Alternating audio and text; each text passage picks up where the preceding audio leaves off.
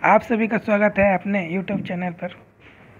इस वीडियो में आपको केदारनाथ का एक नया डिज़ाइन का देखने को मिलेगा और कैसे बनेगा, इस वीडियो में देखते रहिए। सबसे पहले वीडियो को लाइक और चैनल को सब्सक्राइब कर दें, जिससे आपको सारी नोटिफिकेशन मिलते रहेगी।